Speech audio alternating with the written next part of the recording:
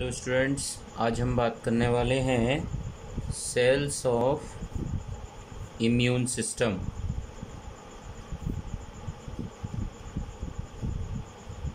तो वो कौन कौन सी सेल्स हैं जो कि इम्यून सिस्टम में हेल्प करती हैं?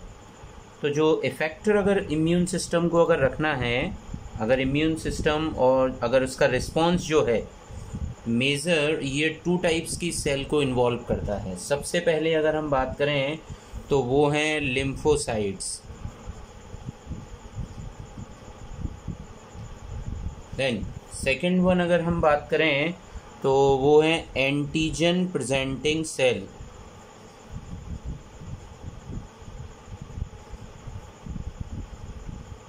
इनको एपीसी के नाम से जाना जाता है एंटीजन प्रेजेंटिंग सेल्स सो ये जो इम्यून सिस्टम जो है, इन दोनों तरीके की सेल्स पर बेस्ड होता है लिम्फोसाइट्स में अगर हम बात करें तो लिम्फोसाइट बेसिकली टू टाइप्स की होती हैं B lymphocytes and T lymphocytes now B जो मीनिंग है बी का मीनिंग आया हुआ है बोन मैरो से। बी मीनिंग है बोन मैरो ऐसी सेल्स जो कि बोन मैरो में सिंथेसाइज होती हैं। और सेकंड वन जो है दैट इज़ टी लिम्फोसाइड जो कि मीनिंग है इसका, इनका मेचुरेशन जो है वो होता है थाइमस में। दैट्स वाई इनको हम बोलते हैं टी लिम्फोसाइड्स तो दोनों तरीके की जो लिम्फोसाइड्स हैं, ये जिस प्रोसेस से डेवलप होती हैं, उस प्रोसेस का नाम है हीमेटोपोइसिस क्योंकि ये सिंथेसाइज बोन मैरो में ही होती हैं, बस टी सेल का मैच्यूरेशन जो है वो थाइमस में होता है। तो प्रोसेस सेम है दोनों के बनने की, वो कहलाती है हीमेटोपोइसिस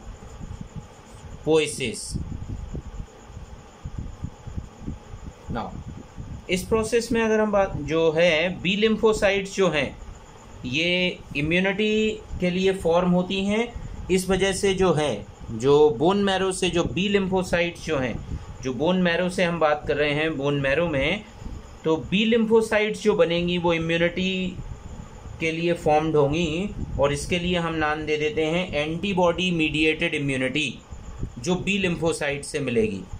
So antibody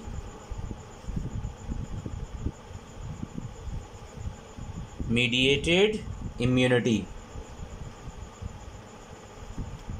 that's it so now अगर हम बात करें टी लिम्फोसाइट्स में तो जो टी लिम्फोसाइट फॉर्म होंगी वो टी लिम्फोसाइट का जो मेजर फ़ंक्शन रहेगा वो उनका मेजर फ़ंक्शन बेस्ड होता है सेल मीडिएटेड इम्यूनिटी पर बेस्ड होती हैं ये।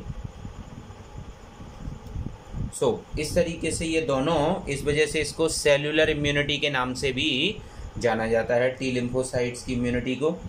तो सबसे पहले अगर हम बात करें बी लिम्फोसाइट्स के बारे में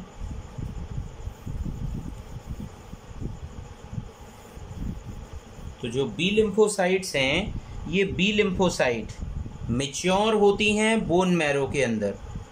इनका मैचुरेशन पूरा का पूरा बोन मैरो के अंदर ही होता है और देन बोन मैरो से ये लीव करती हैं और unique antigen binding presenting site इनके ऊपर होती है, इनकी मेम्ब्रेन पर। मतलब अगर ये बी सेल्स हैं तो बी सेल की सरफेस पर स्पेसिफिक एंटीजन बाइंडिंग जो है, इन पर एंटीजन बाइंडिंग रिसेप्टर की प्रेजेंस होगी। तो ये जो एंटीजन बाइंडिंग रिसेप्टर्स होंगे, ये इनमें पहले से ही होंगे इनकी मेम्ब्रेन पर। और ये जो बी सेल रिसेप्टर्स होते हैं, जो कि मेम्ब्रेन बाउंड होते हैं, ये एंटीबॉडी मॉलिक्यूल जो कि होते हैं बी सेल रिसेप्टर जो है एक्चुअल में, ये एक मेम्ब्रेन बाउंड एंटीबॉडी मॉलिक्यूल्स होते हैं। ये मेम्ब्रेन बाउंड भी होंगे, ये मेम्ब्रेन ही है सेल की। So now these are membrane bound ये मेम्ब्रेन पर प्रेजेंट है so membrane bound antibody molecules होंगे इनके ऊपर।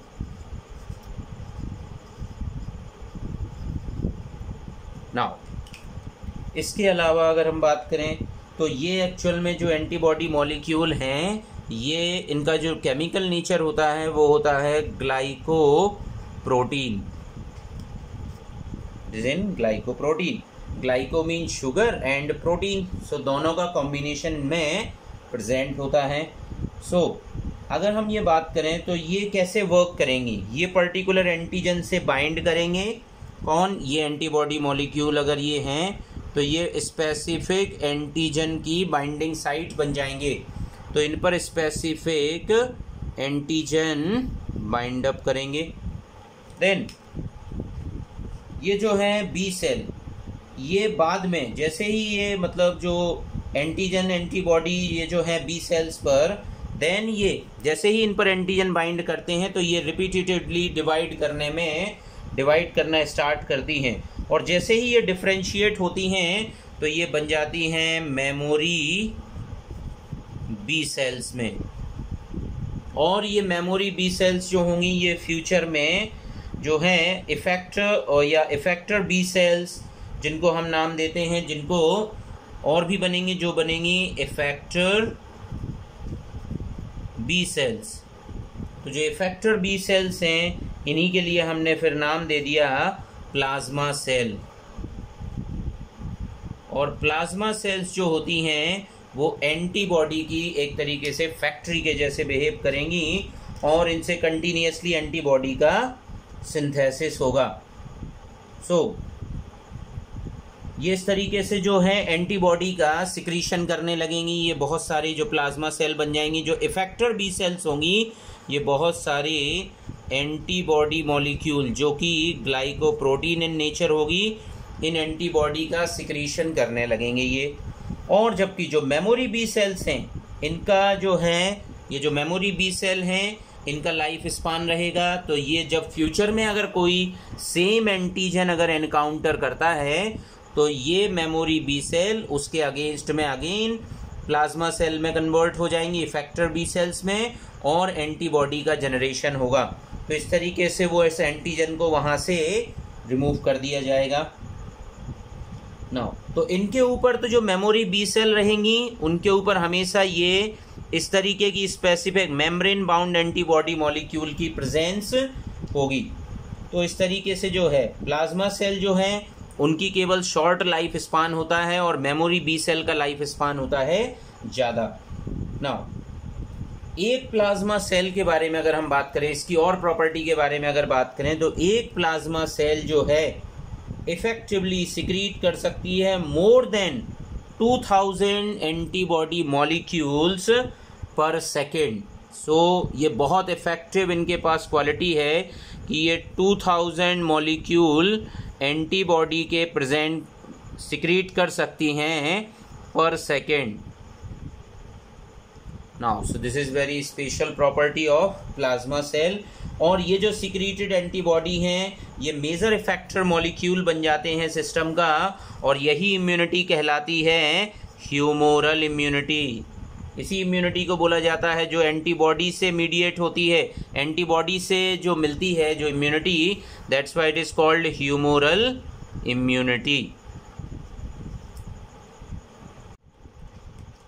now second जो है जो इम्यून सिस्टम की सेल हैं, उसमें हम बात करेंगे टी लिम्फोसाइट्स के बारे में।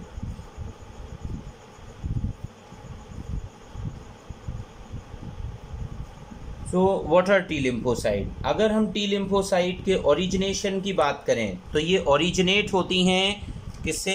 स्टेम सेल से ही। स्टेम सेल से ही इनका सिंथेसिस होगा। कहाँ सिंथेसाइज होंगी? बोन मैरो के अंदर। सिंथेसाइज होंगी बोन मैरो के अंदर बट बाद में इनका जो मैचुरेशन है, वो होता है थाइमस में। तो ये इनकी स्पेशल प्रॉपर्टी है, क्योंकि थाइमस जो है, इनका एक तरीके से ट्रेनिंग सेंटर बन जाता है, और जैसे ही इनका मेचुरेशन होता है थाइमस ग्लैंड के अंदर तो ये एक अपने में स्पेसिफिक एंटीजन बाइंडिंग मॉलिक्यूल अगर कोई टी सेल्स है तो टी सेल एक्चुअल में कैसे सिंथेसाइज होगी? हमने बताया कि जैसे एक पर्टिकुलर सेल है, जिसको हम बोल रहे हैं वो स्टेम सेल्स है। ये स्टेम सेल्स है, ये शुरुआत में। ये फीटल का लिवर बनेगा। लिवर के अंदर ये जो है लिवर में पहुंचेंगी, जो फीटल का लिवर है देन यहाँ से ये रीच करेंगी थाइमस के अंदर। तो ये जो है थाइमस के अंदर रीच कर जाएँगी ये टी लिम्फोसाइट्स लिवर के आने के बाद। और जैसे ही ये थाइमस में पहुंचेंगी थाइमस में यहाँ पर इनका मैचुरेशन होगा और ये बदल जाएँगी टी लिम्फोब्लास्ट में। T lymphoblast then T lymphoblast जो है, इसके बाद ये मेच्योर हो जाएँगी। टी लिम्फोसाइट्स में। ये बदल जाएँगी टी लिम्फोसाइट्स में। नाउ तो ये टी लिम्फोसाइट में बदल गए। इसी तरीके से जो दूसरी सेल होती है, जो अभी हमने बताया था कि बी सेल वो भी कुछ ऐसे ही होती हैं। वो यहाँ से जो है मेच्योर होती हैं, फिर फीटल लिवर में जाती हैं। लिवर से ये पहुँच जाती हैं बोन के अंदर और बोन से फिर ये जो है बदल जाती हैं बी लिम्फोब्लास्ट में। बी लिम्फोब्लास्ट में और देन ये बदल जाएँगी बी लिम्फोसाइट्स में। सो नाउ ये बदल जाएँगी बी लिम्फोसाइट में। तो ये एक्चुअल में इनका एक पूरे प्रोसेस है, जिस तरीके से ये जो है हीमेटो स्टेम सेल से ये डिवाइड होती हैं हीमेटोपोइसिस प्रोसेस के थ्रू और फिर ये अलग अलग सेल्स में डिफ्रेंशिएट हो जाती हैं। और अगर हम बर्ड्स में अगर बात करें तो बर्ड में एक और स्पेशल ऑर्गन होता है, जिसका नाम होता है bursa of Fabricius that is called bursa of Fabricius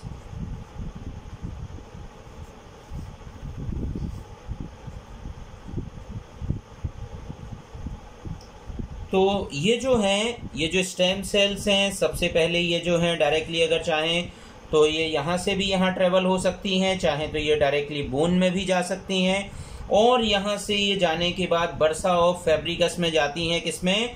direct ये बोन से जो ट्रेवल करेंगी, ये बरसा ऑफ़ फैब्रिकस में जाएँगी, और फिर ये बी लिम्फोब्लास्ट में बदलेंगी। तो जो बरसा ऑफ़ फेब्रिकस है, ये क्लोका का एक रीजन है। क्लोका ये एक इनमें स्पेशल एक और लिम्फॉइड ऑर्गन की प्रेजेंस होती है बर्ड्स में, जो कि क्लोका में प्रेजेंट होता है। इस तरीके से हम बात करते हैं। तो ये हो गया इनके पूरे विचुरेशन की बात। नाउ अगर टी लिम्फोसाइट अगर टी सेल्स की बात अगर किया जाए तो इनका जो लाइफ स्पैन होता है वो approximate four to five years तक हो सकता है। तो इस तरीके से इनके सर्वाइवल रेट होती है ये। नाउ अगर हम फ़ंक्शन ऑफ़ टी सेल्स के बारे में बात करें हमने सेल के नंबर की तो बात कर लिया टी लिम्फोसाइट टू टाइप्स की होती हैं T helper cell T cytotoxic cell और भी कई सारी टी सेल्स की प्रेजेंस होती है। तो जैसे ही कोई टी सेल मान लीजिए ये है एक टी सेल और अगर ये टी सेल किसी एंटीजन के कांटेक्ट में अगर ये आती है, अगर ये किसी एंटीजन के कांटेक्ट में आती है तो एंटीजन के कांटेक्ट में आने पर ये क्लोन ऑफ़ लिम्फोसाइट्स बना लेती है। ये क्लोन ऑफ़ लिम्फोसाइट को फॉर्म कर लेती है टी लिम्फोसाइट का। तो क्लोन बन जाएगा टी सेल का। और टी सेल का क्लोन बन जाने के बाद ये जो क्लोन है, ये फोर टाइप की टी सेल्स फॉर्म कर सकते हैं। ये जो क्लोन होते हैं, ये जो क्लोन रहेंगे, वो बन जाएँगे T helper T helper cells दूसरा रहेगा टी किलर सेल देन तीसरा है T suppressor cell and fourth one T memory cell तो इस तरीके से इनके ये चार टाइप बन जाते हैं। और अगर हम चारों टाइप को अगर हम बात करें तो जो फ़र्स्ट थ्री सेल्स जो कहलाती हैं, ये जो फ़र्स्ट थ्री सेल्स होती हैं, इनको हम इफेक्टर टी सेल्स के नाम से जानते हैं। ये जो तीनों की तीनों सेल्स हैं, ये इफेक्टर के नाम से जानी जाती हैं। इफेक्टर टी सेल नाउ ये इफेक्टर टी सेल्स हैं। सबसे पहले अगर हम बात करें हेल्पर टी सेल्स के बारे में तो ये जो हेल्पर टी सेल हैं इनको कुछ इस तरीके से रिप्रेजेंट किया जाता है कैपिटल टी कैपिटल एच जो कि सबस्क्रिप्ट जो है, सब स्क्रिप्ट में लिखा जाएगा। नाउ अगर टोटल नंबर की बात करें, अगर इनका टी हेल्पर सेल का तो ये टोटल लिम्फोसाइट का 75 परसेंट पार्ट होते हैं टोटल लिम्फोसाइट्स में। नाउ ये जो ये अपने से सिक्रीट करते हैं लिम्फोकाइंस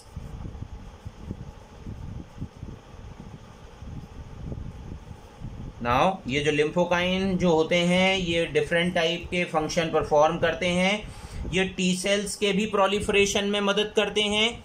अदर टी सेल्स को जो है, ये टी सेल्स के प्रोलिफरेशन में मदद करते हैं। देन प्रोलिफरेशन के अलावा ये बी सेल को स्टिमुलेट भी करती हैं। ये जो लिम्फोकाइंस है, ये बी सेल्स को स्टिमुलेट भी करेंगे।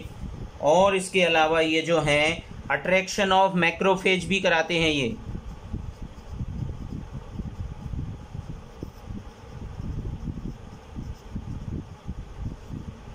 अट्रैक्शन ऑफ़ मैक्रोफेजेस होगा और फीडबैक सिस्टम भी दिया जाएगा।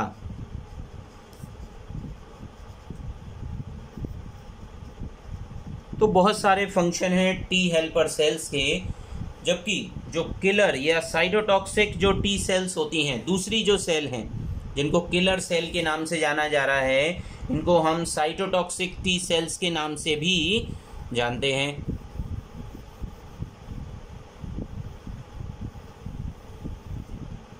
हाँ तो दूसरी जो सेल्स हैं, इनका नाम है किलर और इन्हीं को साइटोटॉक्सिक सी सेल्स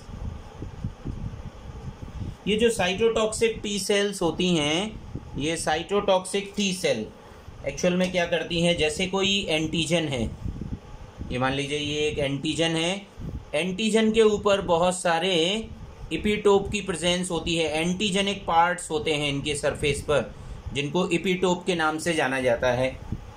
तो ये जो एंटीजन रिसेप्टर जो होते हैं एंटीजन की ये साइट है, ये वाला ये एंटीजन पर प्रेजेंट ये साइट है। नाउ ये कोई फॉरेन जर्म है। हमने पहले ही बताया, ये एक फॉरेन जर्म है और फॉरेन जर्म की सरफेस पर कुछ एंटीजन प्रेजेंट हो रहे हैं।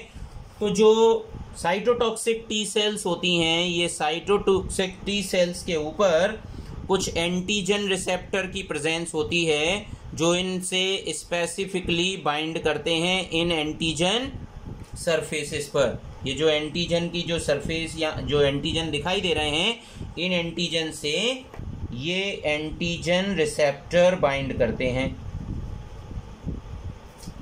जैसे ही ये इनसे बाइंड करते हैं तो ये जो साइटोटॉक्सिक टी सेल्स होती हैं, ये सबसे पहले जहाँ पर साइट ऑफ़ इन्फेक्शन हुआ है, जिस एंटीजन के आने से ये साइट ऑफ़ इन्फेक्शन हुआ है, ये उनके कांटेक्ट में आती है माइक्रोब्स के और ये सिक्रीट करती हैं। देन इनके कांटेक्ट में आने के बाद ये सेल सिक्रीट करती हैं कुछ स्पेसिफिक परफोरेंस ये परफोरेंस सिक्रीट करेंगे और ये परफोरेंस जो हैं, ये प्रोड्यूस करते हैं होल्स नाम से ही पता चल रहा है परफोरेंस परफोरेशन होल्स प्रोड्यूस करेंगे। और ये सिक्रीट करेंगे टॉक्सिक केमिकल्स जिनका नाम है लिम्फोटॉक्सिन्स दैट्स वाई इसका जो नाम है, इसको हम बोलेंगे लिम्फो टॉक्सिन्स ये जो लिम्फोटॉक्सिन्स हैं, ये माइक्रोब्स की, जो है माइक्रोब्स फॉर किलिंग जो है, उसमें हेल्प करते हैं. और ये जो किलर टी सेल्स होती हैं, ये सेपरेटली ये सेपरेट करती हैं अट्रैक्ट करती हैं अदर पैथोजन को और साइटोटॉक्सिक सी से टी सेल्स के बारे में अगर बात करें यहाँ तक कि ये कैंसर सेल पर भी इफ़ेक्टिव होती हैं। तो ये कैंसर सेल पर भी वर्क करती हैं ये साइटोटॉक्सिक टी सेल और ये स, कई सारी जो टी सेल्स होंगी साइटोटॉक्सिक टी सेल्स ये बहुत सारे एंटीजेनिक रिसेप्टर से जुड़ जाएँगी और एंटीजन को जो है डिस्ट्रॉय करने में हेल्प करती हैं। यहाँ तक कि ये भी बोला जाता है कि जो टी सेल्स हैं, उन्हीं के अंदर एचआईवी जो है इन्वेड करता है, जिससे कि इम्यून सिस्टम वीक हो जाता है। तो ये भी इनका एक जो है एस्पेक्ट है। नाउ तीसरा जो है, जो कि हमने बात किया था सप्रेसर सेल्स के बारे में सप्रेशर टी सेल्स के बारे में तो जो सप सप्रेशर टी सेल्स होती हैं ये प्रोटेक्टिव टी सेल्स के जैसे बिहेव करती हैं। जो सप्रेसर टी सेल्स हैं, ये suppressor T cells protective in function होती हैं। ये protective function function functional T cells होती हैं, जो कि क्या काम करती हैं? ये रेगुलेट करती हैं टी सेल्स को। इनके लिए इसी वजह से कई सारा रेगुलेशन करती हैं टी सेल्स का। इसीलिए इनको रेगुलेटरी टी सेल्स के नाम से भी जाना जाता है। नाउ जो लास्ट जो टी सेल्स हैं, जिनको कि हम मेमोरी टी सेल्स के नाम से जानते हैं, ये मेमोरी टी सेल्स जो हैं, ये कभी फ्यूचर में अगर फ्यूचर में अगर कोई सेंसिटाइजेशन होता है या कोई antigen similar kind of antigen की प्रेजेंस होती है तो ये बहुत तेज़ी से सेंसिटाइज करती हैं सिस्टम को और ये फ्यूचर की मेमोरी के जैसे भी बिहेव करती हैं। तो ये मेमोरी के साथ में इनका टर्म लगा ही हुआ है मतलब ये फ्यूचर में आने वाले एंटीजन के लिए इफ़ेक्टिव रोल प्ले करती हैं। सो so, अगर हम बात करें तो टी लिम्फोसाइट का एक बहुत स्पेशल जो एस्पेक्ट है कि ये एंटीजन को रिकॉग्नाइज तो करती हैं। इनके ऊपर जो रिसेप्टर होते हैं, सभी जो टी सेल्स की हम बात कर रहे हैं तो जो इनके ऊपर रिसेप्टर की प्रेजेंस होती है, ये रिसेप्टर बड़े स्पेसिफिक होते हैं, ये रिकॉग्नाइज करते हैं ओनली एंटीजन ये एंटीजन से ही बाउंड करते हैं। ये एंटीजन बाउंड करते हैं तो अगर हम एक इसको अगर सेल के बारे में बात करें तो ये जैसे टी सेल है। इन टी सेल के ऊपर एक स्पेसिफिक एंटीजन बाउंडिंग जो है सरफेस रिसेप्टर्स होते हैं और इन सरफेस रिसेप्टर को नाम दिया जाता है M H C that is called major histocompatibility complex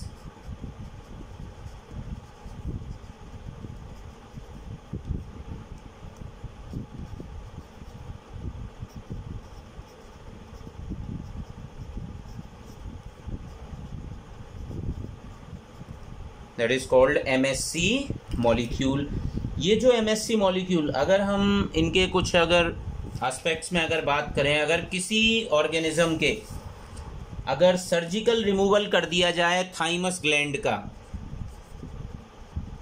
अगर थाइमस ग्लैंड को अगर रिमूव कर दिया जाए सर्जिकली तो न्यूबॉर्न जो होंगी जो न्यू बॉर्न जो होंगे उनमें टी लिम्फोसाइट नहीं फॉर्म होंगी क्योंकि उनका मैचुरेशन नहीं होगा। तो टी लिम्फोसाइट की प्रेजेंस नहीं होगी। सो so, वहाँ पर टी लिम्फोसाइट प्रोड्यूस नहीं होगी। अगर ऑर्गन जो है रिजेक्शन की अगर हम बात करते हैं किसी ट्रांसप्लांटेड ऑर्गन की अगर हम बात करें कोई भी ऑर्गन जो ट्रांसप्लांट किए जाते हैं तो ट्रांसप्लांट ऑर्गन को जो रिजेक्शन की जो रेट होती है रिजेक्शन कराने वाले भी यही टी सेल्स होती हैं। टी सेल की एक्टिविटी के कारण ही टी सेल एक्टिविटी के कारण ही ग्राफ्ट रिजेक्शन होते हैं और ट्रांसप्लांटेड ऑर्गन का रिजेक्शन किया जाता है। तो टी सेल जो हैं सिस्टम के लिए एक बहुत इफेक्टर सेल के जैसे वर्क करती हैं।